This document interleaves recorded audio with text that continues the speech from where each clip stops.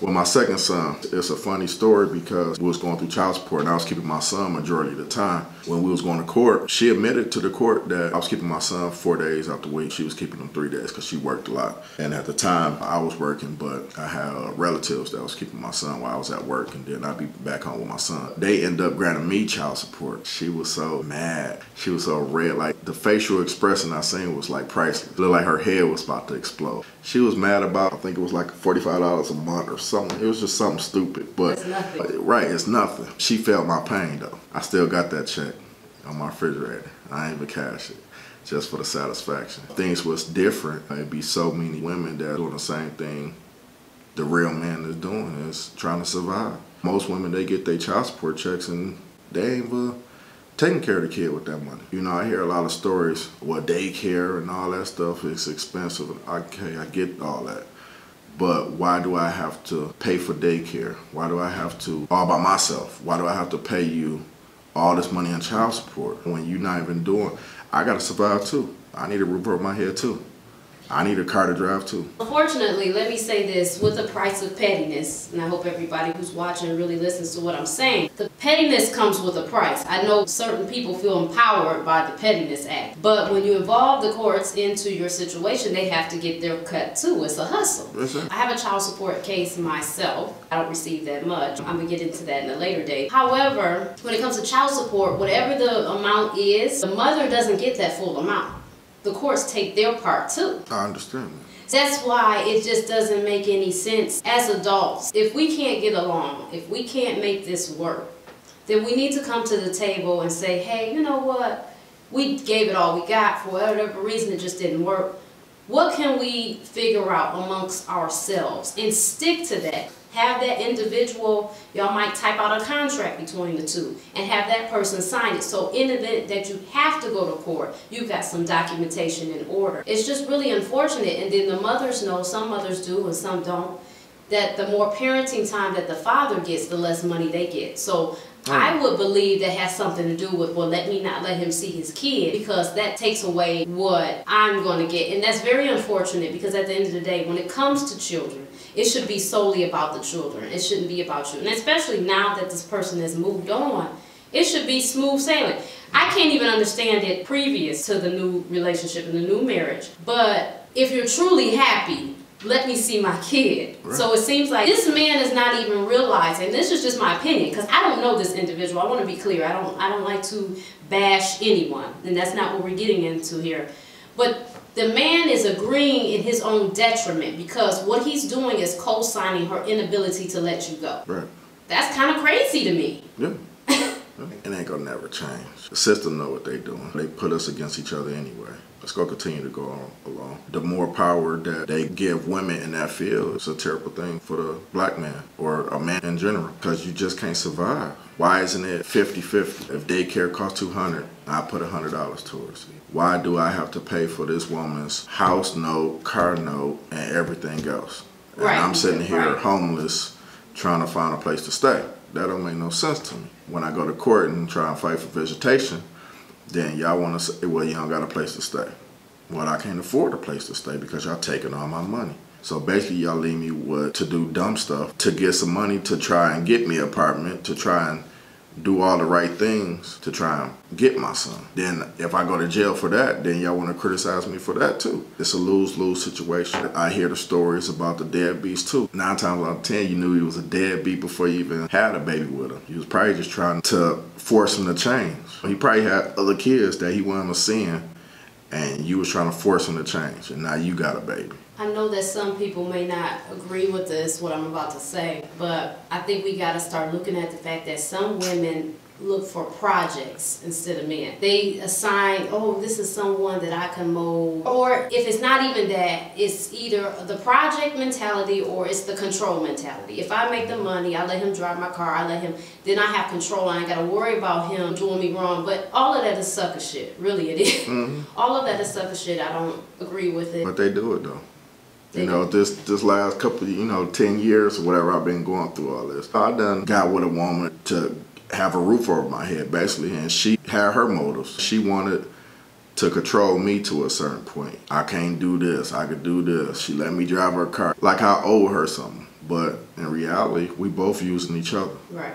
And in your case, it's not like you are malicious. You got to do what you got to do to survive. And sometimes survival comes to, it looks malicious, Right. but it's not. It's survival. Right. Survival mode. It's better that than going back to my old ways. Robbing people, stealing, shooting at people, getting shot at. It's better than doing all that. For me, survival mode was basically I had to do what I had to do. I had to talk to a female, even though I know I don't like her, I don't see nothing. But at the end of the day, I had to eat. I had to have a place to stay. I had to survive. So it gets real frustrating. It gets real hard. But uh, the longer you do the right thing, things will start to turn around if you're motivated. But no one should have to work. It's like trying to run up a hill or a mountain, rather. Is almost damn near impossible. Why should a person have to be tested and pushed to that point? Why should women allow themselves to be part of the government hustle? If you have any So sense, they can go get that new Remy but all you know, materialism. or go get that new. Benz. That's true, but that stuff is it's nothing. You you can't take it with you. It doesn't mean nothing. It really doesn't. It means absolutely nothing. And as it, much as we it all happens all the time. It does. It happens all the time. You can't sit up and say the government needs to do better. They need to get down on crime. I'm tired of people getting robbed, carjacked, murdered. You can't say that and in the same breath be a tool to keep this going because they're not going to crack down on crime because it's profitable. Right. They're not going to hack down on child support because it's another way to suppress the black man and keep the black family divided. Clear. And us as women, us as men, we have to understand that and be aware things are bigger than us. It's bigger than your feelings. It's bigger than your pettiness. It's bigger than the Benz you want to drive and the clothes you want to wear. It's so many more things more important than that. And we get so, we're humans, but we're perfectly made. We're brilliant and we don't use it. We don't use our intelligence. We don't use our brilliance. We result to pettiness and frivolousness. And it's really sad. So I got three kids now. I got fixed after my second son. I wanted a daughter. I had two sons at this time. I wanted a daughter, but I just couldn't afford it. So I ended up getting fixed. Well, six years down the road, get a Facebook message. We need to talk. I'm like, about what? I ain't seen in a long time. Maybe you trying to catch up or something. Okay, whatever. Kind of find out I got a daughter that's six. So it's kind of a blessing in disguise. But at the same time, I lost six years with my daughter. Found out about the blood test. Found out she mine. Got fucked again. Child support. got stuck paying right off the bat like $5,200 for the birth of my daughter that I just met at six years old. I think it was like almost $600 a month just for my daughter on top of my other two cases. So now I'm back up to $1,500. I had just got everything lowered with my first two kids. So I was able to breathe a little bit. My ex-wife, she finally went to the court and told them to lower my child support. Only because she wanted me to give up my rights. But wouldn't that take the child support away then? It wouldn't take back the back child support, but the future child support it would. I lost six years with my daughter. Got put on child support, paying an arm and a leg again. I had just started to get things rolling. Had got me a nice apartment, got me a nice car, everything on the up and up. Then I lost everything again. Had a good job, then I couldn't afford nothing again because of child support. It's messed up because I lost six years. Now you want all this money for child support. They don't penalize the woman for nothing. They didn't penalize her for not even telling me about my daughter for six years. You know, but I was happy because I had a daughter. Tried to work as much overtime as I could. Tried to work another job, but then I got sick. I was homeless, sleeping in my car for a week and a half. My kidneys almost failed. Say I was overworking myself. Try and go to the gym to work out so I won't smack nobody because I'm stressed out. Go off on somebody or do something stupid again rob another Walmart or something. They threatened me with dialysis. They're talking about doing emergency dialysis on me because my kidney levels were so high. I told them no, because I was just tired. But then my kidney levels came down, ended up getting out, got a job right off the gate, then got another job right off the gate, even though I wasn't supposed to. I can't survive off $100 a week. So now I'm back to working 16, 17 hour days. Happened again, back in the hospital. Kidney levels up. Get out this time, contemplated suicide, contemplated, there's a whole bunch of crazy stuff. Robbing banks, all type of stuff.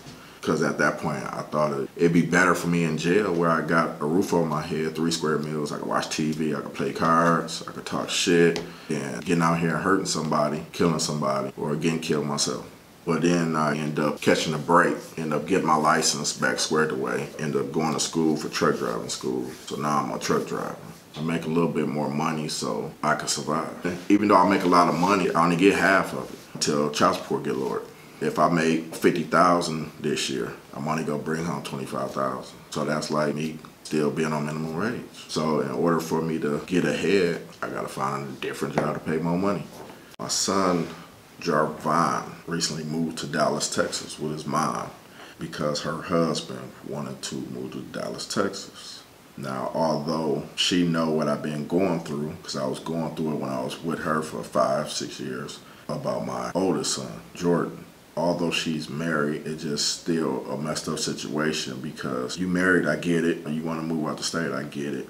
But I don't even know if you realize how much it meant or did you even care that you was taking your son away from his father, knowing that he going through other stuff with his other son.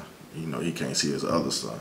So now I can't even see my other son when I want to. I gotta figure out a way to get all the way to Dallas, Texas. And I know damn well she ain't gonna pay for it to send him back up here. You know, so now that's another hurdle I gotta come upon. I could have said no at the same time. I didn't want to stop her hustle, her dreams, or whatnot. And also, I wanted my son to not just be in Battle Creek or stuck in Battle Creek. I wanted him to, to go see the world. But like I said, still a messed up situation because I'm still stuck paying all this money in child support. If I be like, okay, I want to see my son, I'm gonna have to figure out a way to to get my son up here to see him. That's another issue that I'm dealing with.